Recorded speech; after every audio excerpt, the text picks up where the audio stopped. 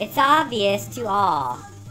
Well, the Hindu cow versus Muslim pig cultural dilemma. It's obvious to all that the beliefs are arbitrary, that you tend to believe in what you were taught by your surrounding culture, schools, parents, and so on.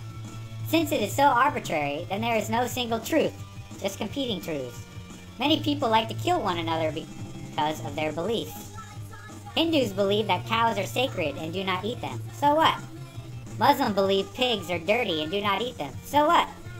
So, should the evil Muslims be provo- prohibited from eating cows because they live in a Hindu region? That's the big question, huh? So, should the evil Hindus be prohibited from eating pigs because there are Muslims in the neighborhood? That's a big question, huh? Why does anyone have to respect another's delusions? Why do we have to follow one person's belief at the expense of another's?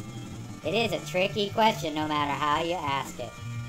Since the Muslims are not Hindu- indigenous to Hindustan, I believe they should respect the host culture, or just not even go there, not even live there, stay in their own neighborhood.